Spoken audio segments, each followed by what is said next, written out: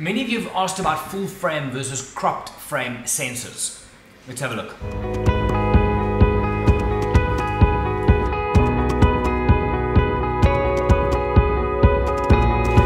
Morning Internet. Let's talk crop sensor versus full frame.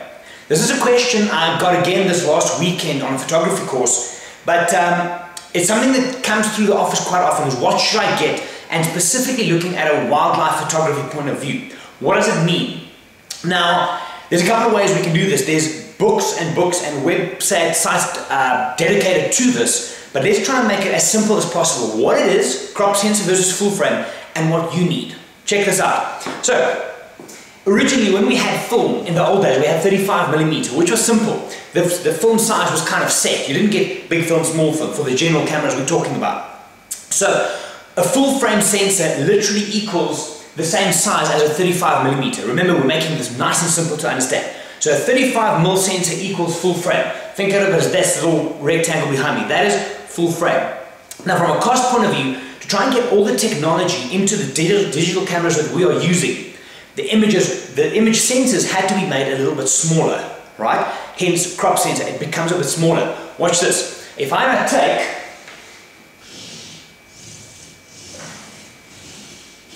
That, for example, so my blue square now is a crop sensor. It's a smaller sensor size, yes, compared to my full frame sensor. There's different ones. Nikon, Canon, and in some, your Canon 1D series had a different size sensor to the, the full, the, the crop sensor like the 7D, and then the Nikon crop sensors, the DXs, also had a different size. So you get different ones. You get another one, for example, like that. So you get different sensor sizes. In general, the two big ones, Canon you can multiply by 1.6, Nikon you can multiply by 1.5. But what does it mean? It simply means this. If I take the exact same image, same camera, same settings, on a crop sensor versus a full frame sensor, the crop sensor is going to look like it has more reach. Think of this. You take the same scene, you fit it into my white triangle, yes, my full frame. You now put that same scene in front of a crop sensor camera, it can only see a smaller area of it. However, and this is, the, this is a concept more than reality, what the camera then does, we just look at the final image, yes? We don't think, oh, but it's cropped down and up. We would take, and you kind of, in your mind, extrapolate that crop back up to a full frame size when you look at the image. You don't think when you look at your image, oh, what should I do? It kind of pulls it back up so it looks like it has a zoom factor, a crop factor, gets you closer. Yes? So, if you're shooting on a Nikon crop sensor, you can times the zoom length you have by 1.5, and for Canon it's 1.6, except the 1D4, which is 1.3. Email me if you have questions, we can look at this. So, the crop sensor, which one should you get? The answer to that question is another question, is what are you shooting more of? Are you shooting wildlife, where you want that extended reach, or are you shooting more landscape, interiors, where you want the wider reach? Make sense? If you are shooting, for example, let's do, you're shooting on a 600 millimeter lens.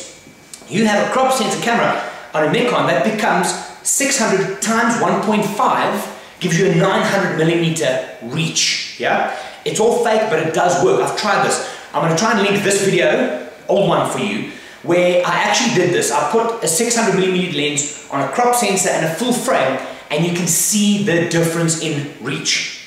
So, what should you get? Here's the answer, and let's make this nice and simple. If you only have one type of camera, it doesn't matter. It really doesn't matter. If you only have, let's say, a 7D and you buy yourself the new 7D, they are both cropped. So, you would know for your lenses that's what you have. If you have only a 5D or a D800 Nikon, for example, you're going to shoot wide. Yes, you're not going to have that multiplication factor, the crop factor of the lens.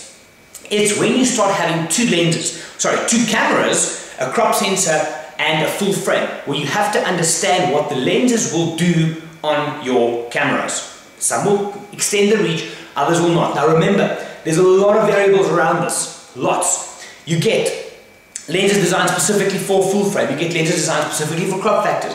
Some won't even fit on the different camera bodies. Um, it is a theory principle only, but when you're looking at buying your next camera, look at your budget and see, If a full frame and a crop sensor fits into your budget, ask yourself, what am I going to photograph most of? Do I need that reach? Do I want that reach? Then get yourself a crop sensor and go for the reach. Get that extra additional crop zoom factor in. If you want the wide stuff and you have the money and the budget to rent or then to buy the big bomb lenses, the 600, the 400 2.8, go wide, go full frame. There's pluses and minuses to everything. This is just an initial start. We are going to do a bit more of a technical look at this in future, where we're looking at exact cameras and how and what they can do. But for now, full frame, no magnification. Your lens setting, your lens zoom is what you get.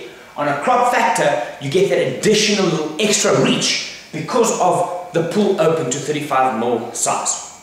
I hope that helps a bit. This is an intro. If you have questions, let me know. Hit me up on Facebook, Twitter, or go to the Wild Eye Facebook page and let's discuss. My name is Gerry, this is Wild Eye. I'll see you guys next time.